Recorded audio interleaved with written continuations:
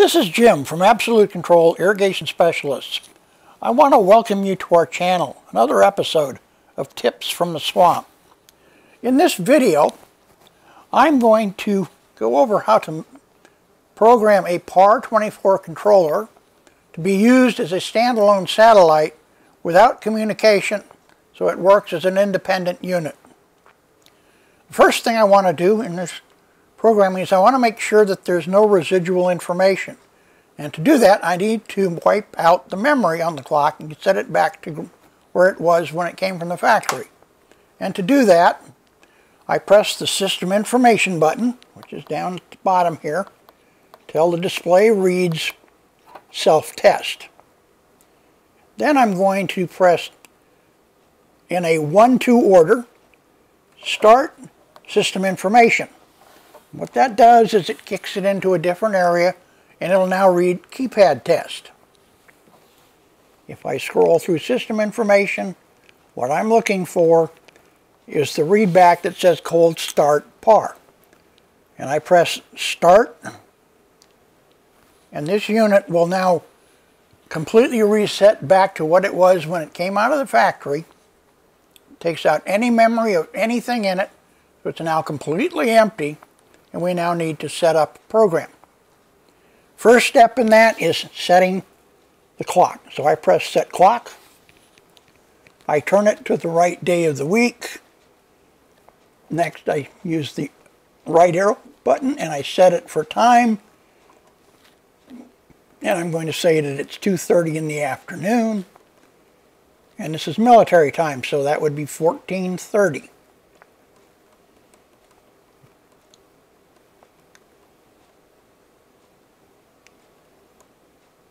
So it's 1430, press clock status, and that verifies that it now knows that it's Thursday at 2.30 in the afternoon or 1430. Next, I need to establish run times. Now, I'm going to break my run times down for different areas that I'm watering. I'm going to pretend I'm dealing with a golf course, and my first concern are my greens, and I'm going to set those up on Schedule A. So they're separate from the tees, which will be on Schedule B, and the fairways, which will be on Schedule C. So first I need to set my run times. To do that, I press the runtime button.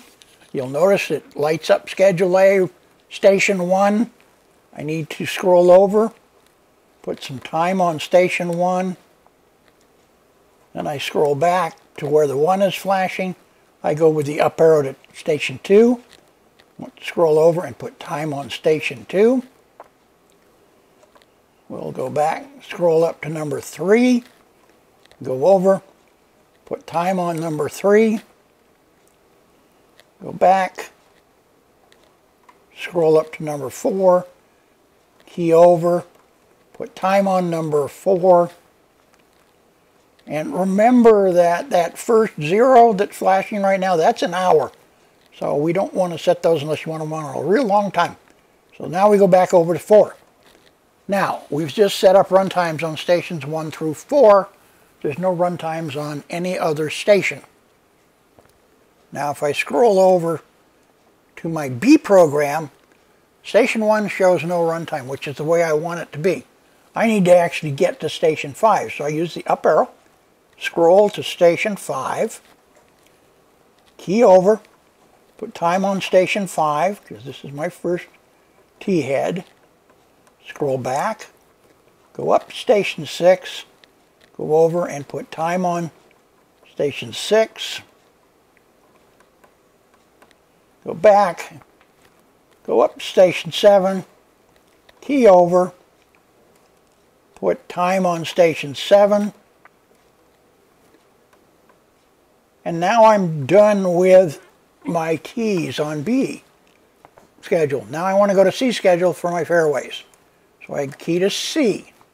Now, I don't want to put time on stations 1, 2, 3, or 4 because they will run during both the A and C cycle and I just want them on the A cycle. Same thing with 5, 6, and 7. I want those on B only. So now I need to go up to my first fairway head, which is actually number station number 8. So I key up to 7 and then 8. I go over and put time on that station, back over, go up to 9, key back over, put runtime on 9, go back, go up to 10, go over, and put runtime on 10. I'm going to hit clock status at this point. Now I have separated my greens to schedule A, my tees to schedule B, and my roughs, excuse me, my fairways to schedule C. Now I need to set up start times for these particular zones. So if I press start time, it's telling me start one, schedule A, this is my greens, and I want them to start, if I scroll, scroll over, I want to start them at 6 a.m. in the morning. So I set that for 6 o'clock in the morning. Now, scroll back.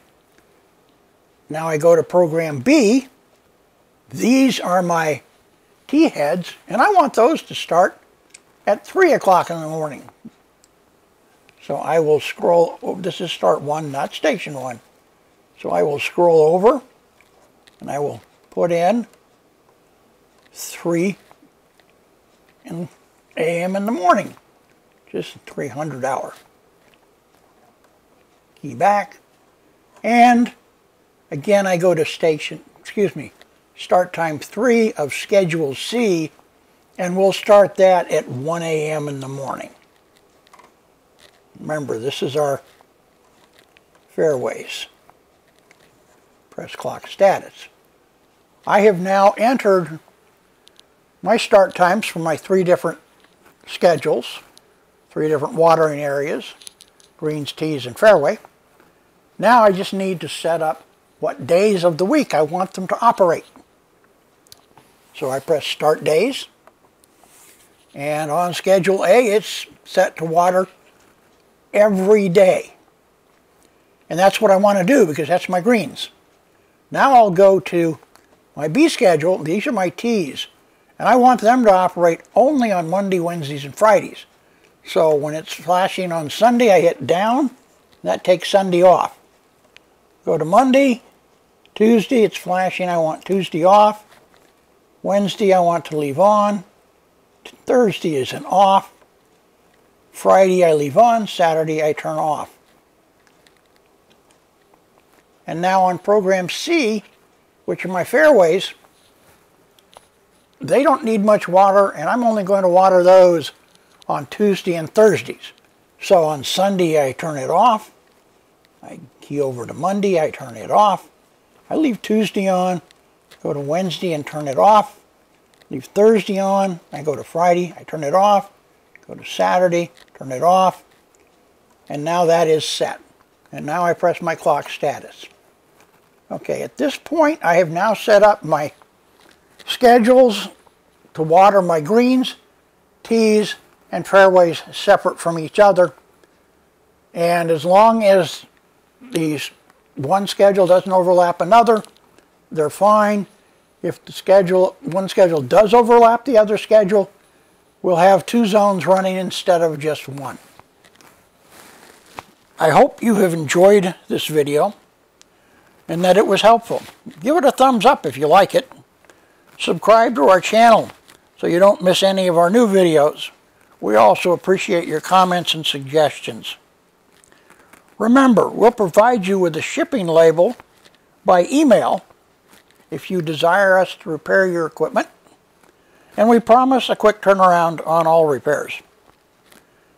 To get in touch with us so that we can get you the labels and your repair work, visit us on our website at www.absolute-control.com. Thank you from Gator with tips from the swamp at Absolute Control Irrigation Specialists.